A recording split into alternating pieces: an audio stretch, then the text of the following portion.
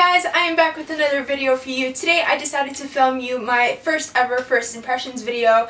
Yesterday I decided to go and, you know, brace myself for the mall. It's the last week before Christmas and I had not done any of my Christmas shopping so I went and I did some Christmas shopping and I did some shopping for myself and I literally bought enough makeup for myself to be able to do a first impressions video and before I used all this stuff I really wanted to film my reaction on all of these products with you guys in front of the camera. So yeah, I don't know. I don't have never done a first impression. I've never done a first impressions video ever here on my channel and so yeah I figured that I would kind of start incorporating tutorials and reviews and everything all in one. No, I really liked filming this video so I really hope you guys like it. If you guys do like it please give it a thumbs up and subscribe to my channel. If you haven't, any other concerns or requests for videos leave them down in the comment box and I will definitely get back to you guys. Um, yeah, I don't know, I really liked filming this. I was kind of like hesitant with talking tutorials that makes any sense because I feel like I'm talking here for like forever and I feel like like it is going to be a three hour video. Um, I just also wanted to let you know I am going to make it a New Year's resolution to start blogging as well. Um, more towards, you know, keeping all of the reviews and opinions based on products on that blog.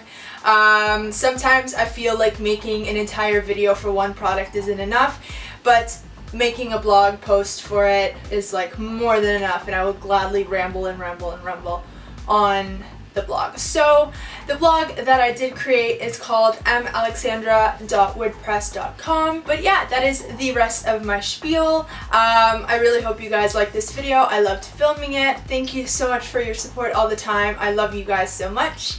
And I will talk to you guys in my next one. Bye!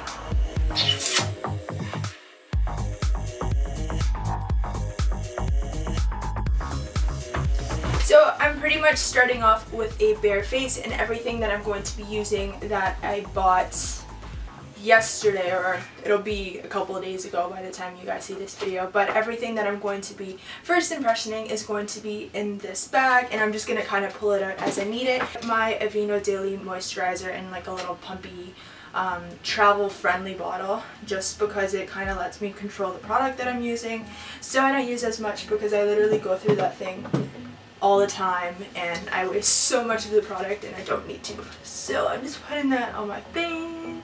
The first thing I got was the Maybelline Baby Skin Instant Pore Eraser Get Poreless Skin Primer thing.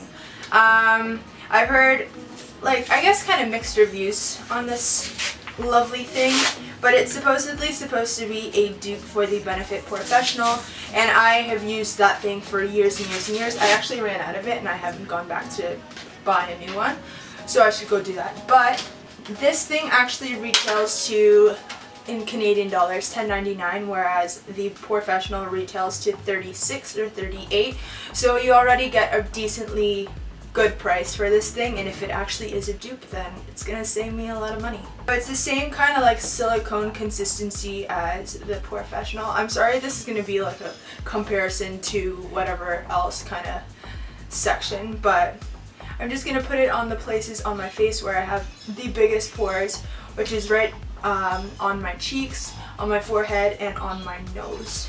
I really don't mind putting uh, primer everywhere because primer is awesome. So and it really really really does help your makeup stay on all day. I'm not too too big a fan of the um, like moisturizer type primers. I don't know why. I guess it's just because I started using like the silicone ones first and I got used to them. And using a silicone based uh, primer is actually better for me. Because I got oilless skin. Oilless skin. So I'm just gonna let that set on my face while we do the rest of my makeup. Actually kind of liking that so far. Hooray! So I'm just going to go and do my eye makeup and then I will be right back. So the next thing I wanted to first impression was the new Maybelline Lash Sensational Full Fan Effect Mascara and I bought this guy because um, I don't know, one I never really buy mascaras when they're new. I always like wait a couple of months and see what people say about them first before I make the executive decision on buying it. Oh, and another thing, kind of an update on how I'm feeling about the baby skin thing. Um, I think I put too much on it just because there's still some of it that's kind of like sitting on my skin. Um, and it's been already like quite a bit since I put it on. Oh, I like this wand. I like it. So, yeah, I like this already. So I guess we're gonna see how this works. Got this. This is a Tweezerman um, lash curler. I got it at Sephora maybe last year, something like that. I decided to spend the money on a lash curler because why not?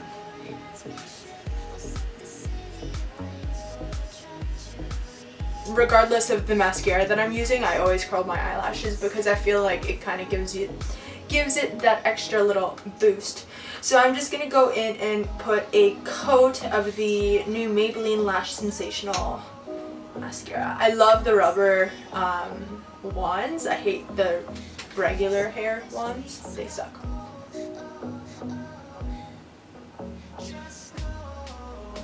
Ooh, I like it.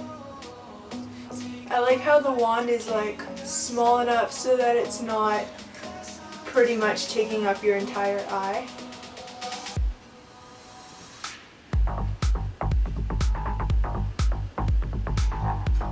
I like it. My eyelashes aren't clumpy. My eyelids are a little bit of a mess right now, but I'll fix that after. Now I'm just going to speed you guys through my foundation and my concealer and I will be right back.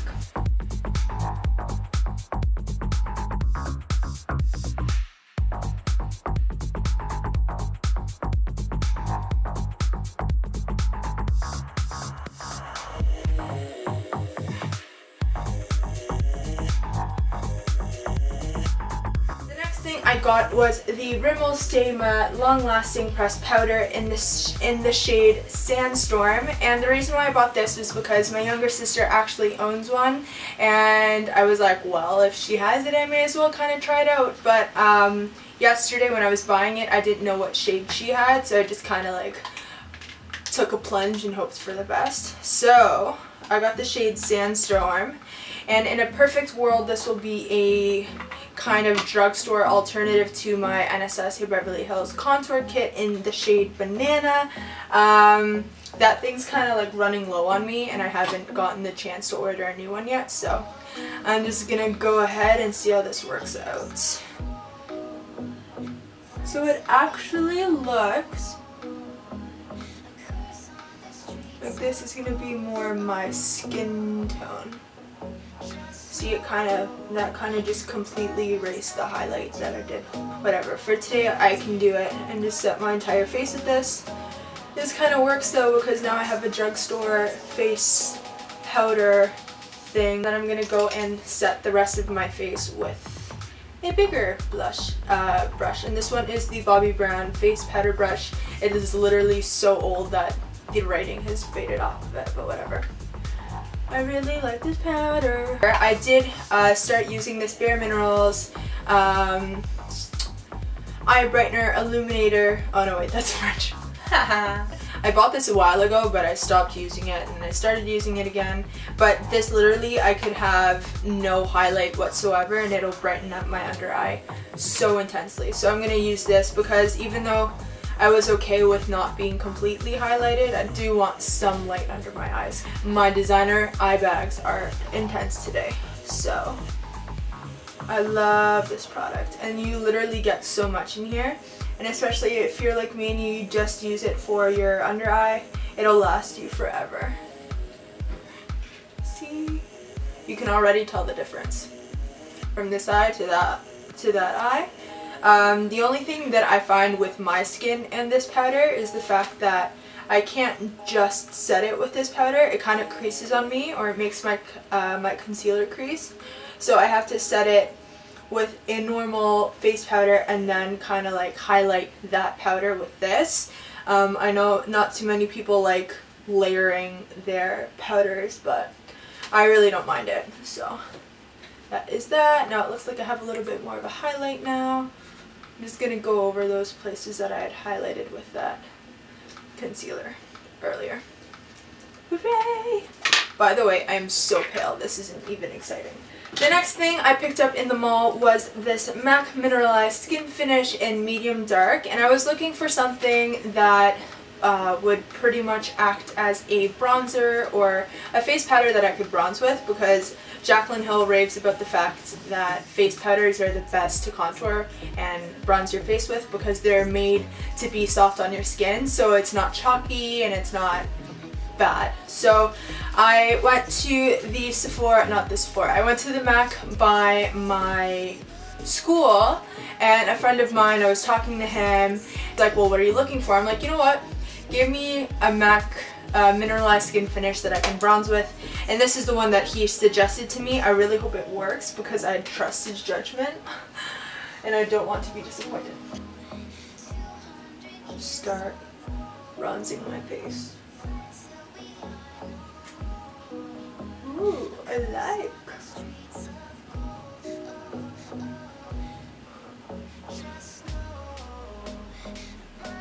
So yeah. Ooh, I'm actually really liking this. It, it's like, it's not cool toned, it's definitely more of a warm toned um, color and shade, but I really like it. I feel like I won't need to contour with anything else. Like this is just giving me a really nice glow. Hooray! Thank you, Kyle. I love you. By the way, he is also a makeup artist. I'm to link his Instagram down below because he's awesome. I'm just to fix my face and do my eyebrows and I will be right back. And so the next thing I bought from my lovely little trip to the mall is I decided to pick up a couple of Becca products and these products have been talked about very very positively over the past like what couple months since they've been out and the first of two out got it okay so I got the Becca mineralize or the mineral blush in Damselfly and it is like ah. so I'm to go in with my Precision Beauty powder powder brush. Powder brush. So I'm just to ever so slightly dip my brush into it because even that got a lot of product off of it. Tap, tap off the excess and just start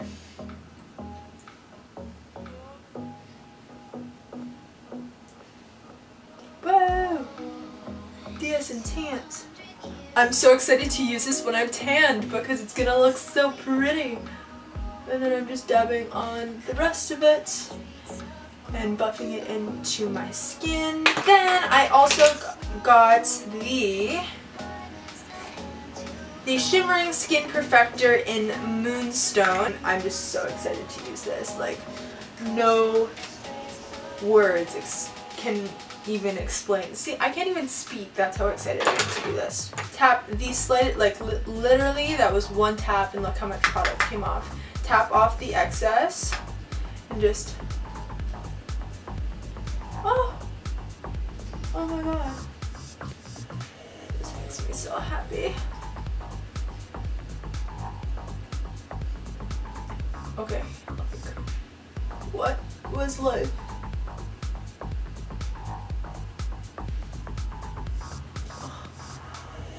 Finding things that other people rave about on YouTube and they work for me too. Like I love that.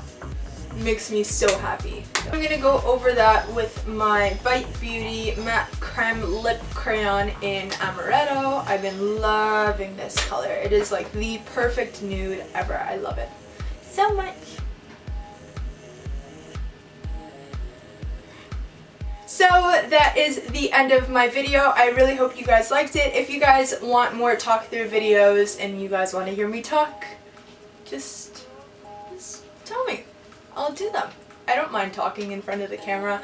Sometimes it's kind of nerve-wracking because I'm like, what am I talking about? What did I just mention? There's nobody there to tell me what I just said. Just in case you guys forgot, all of my opinions based on all of these products, plus a couple of other ones that didn't really fit into the beauty section of this video. They're going to be posted on my blog as well along with pictures.